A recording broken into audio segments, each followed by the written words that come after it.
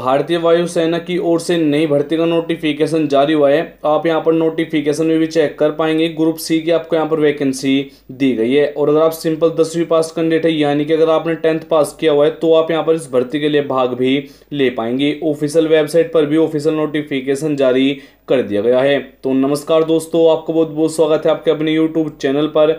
Friends आज हम जिस भर्ती के बारे में बात करेंगे, वो भारतीय वायुसेना की ओर से ग्रुप सी के पदों पर नई वैकेंसी निकाली गई है। ऑल इंडिया वैकेंसी आपको यहाँ पर दी गई है। कैसे आपको यहाँ पर आवेदन करना है? कौन कौन से डॉक्यूमेंट की जानकारी इनको देनी होगी, सभी जानकारी आपको वीडियो में दी गई है। इस भर्ती के लिए आपको जो आवेदन करना है ऑनलाइन ऑफलाइन दोनों मोड से आप आवेदन भी कर पाएँगे। और अगर आप हमारी ग्रुप ज्वाइन करना चाहते हैं टेलीग्राम ग्रुप व्हाट्सअप ग्रुप के लिंक आपको यहाँ पर दिए गए हैं। और अगर हमारा व्हाट्सअप चैनल ज्वाइन करना चाहते हैं तो उसका लिंक भी आपको डिस्क्रिप्शन में दिया गया है। और अगर आपको इस वीडियो में कुछ भी अच्छा लगे तो एक लाइक ज़रूर कीजिएगा। आपको जो यहाँ पर वैकेंसी मिलेगी टोटल एक वैकेंसी दी गई। टोटल जो पोस्ट नेम होगा टोटल आपको यहाँ पर तीन प्रकार की वैकेंसी दी गई है। लोअर डिवीज़न क्लर्क यानी कि एल के लिए वैकेंसी होगी हिंदी टाइपिस्ट के लिए वैकेंसी होगी और ड्राइवर के लिए आपको यहाँ पर वैकेंसी दी गई है।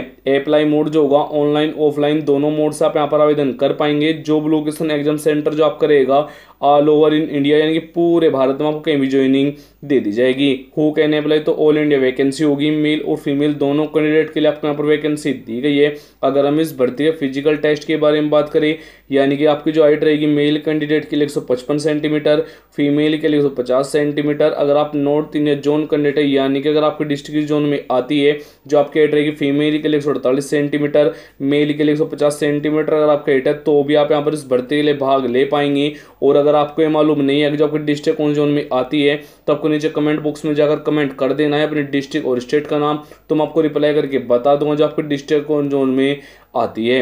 आपको जहाँ पर रनिंग टेस्ट होगा मेल कैंडिडेट के लिए 1600 मीटर के लिए आपको यहाँ पर साढ़े सात मिनट का समय भी आपको यहाँ पर दिया जाएगा। अगर हम इस भर्ती के एप्लीकेशन फ़ीस की बात करें, सभी कैंडिडेट के लिए यहाँ पर एप्लीकेशन फ़ीस नहीं रहेगा, यानी बिल्कुल फ्री में आप यहाँ पर इस भर्ती के लिए आवेदन कर पाएँगे। आप भले ही किसी भी कैटेगरी से बिलोंग करते हैं, यानी कि U R general OBC S C S T female और सभी कैटेगरी बिल्कुल फ्री में आप यहाँ पर भाग ले पाएँगे। आपको जहाँ पर सैलरी दी जाएगी, यानी कि आपको जहाँ पर वेतन रहेगा, अट्ठारह हज़ार रुपये से लेकर उनहत्तर हज़ार सौ रुपये पर मंथ तक आपको यहाँ पर सैलरी भी दी जाएगी। अगर हम इस भर्ती के लिमिट के बारे में बात करें, यानी कि जो आपके यहाँ पर आयु सीमा रहेगी यू आर और जनरल कैटेगरी के लिए अठारह, तीस ओबीसी कैटेगरी के लिए अट्ठारह से तैंतीस एससी और एसटी कैटेगरी के लिए अट्ठारह से पैंतीस जो काउंट की जाएगी दस सितंबर तक की जाएगी। यानी कि दस सितंबर को आपकी एज है तो अठारह से कम होना तीस से ज़्यादा हो। यानी कि जो आपको यहाँ पर एज में छूट दी गई है एस सी वालों को पाँच दी गई है ओबीसी वालों को यहाँ पर तीन ईयर की छूट भी आपको दी गई है। और अगर आप हमारे चैनल पर नए हैं तो चैनल को ज़रूर सब्सक्राइब कीजिएगा। इस भर्ती के फ़िज़िकल टेस्ट की जानकारी मैं को पहले ही दे चुका हूँ। अधिक जानकारी के लिए वीडियो को पोज करके भी आप यहाँ पर सभी जानकारी ले पाएँगे।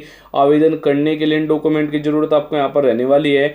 दो फ़ोटो की ज़रूरत रहेगी जिनका बैकग्राउंड यहाँ पर लाइट कलर का होना अनिवार्य है। एजुकेशन क्वालिफिकेशन की जानकारी आपको यहाँ पर देनी होगी। यानी दसवीं, बारहवीं की मार्कशीट की आपको जीरोक्स देनी है। उसके बाद से caste certificate domicile certificate Aadhaar card आपको यहाँ पर देना होगा। जो कास्ट सर्टिफिकेट रहेगा, ये OBC SC ST EW candidate को देना होगा। अगर आप नहीं देंगे तो आपको यू आर और जनरल कैटेगरी में काउंट किया जाएगा। इस भर्ती के लिए जो सिलेक्शन प्रोविज होगा, सबसे पहले आपका यहाँ पर रिटर्न एग्ज़ाम होगा। फ़िज़िकल टेस्ट होगा, डॉक्यूमेंट वेरिफिकेशन होगा फाइनल मेरिट आपकी यहाँ पर बनाई जाएगी। एजुकेशन क्वालिफिकेशन की बात करें, अगर हमने सिंपल दसवीं, बारहवीं पास किया हुआ है तो आप यहाँ पर इस भर्ती के लिए भाग ले पाएँगे। वो आपने किसी भी बोर्ड किसी भी सब्जेक्ट का कंप्लीट किया हो यहाँ पर मैटर नहीं करेगा। आवेदन करने के लिए आपको लिंक डिस्क्रिप्शन में मिल जाएगा, लेकिन उससे पहले आपको जो यहाँ पर इस भर्ती की इंपोर्टेंट डेट रहेगी, वो दस अगस्त से लेकर एक सितंबर तक आप यहाँ पर इस भर्ती के लिए आवेदन भी कर पाएँगे। तो आवेदन करने के लिए आपको लिंक डिस्क्रिप्शन में दिया गया है, वहाँ पर क्लिक करके आपको इस वेबसाइट पर आ जाना है।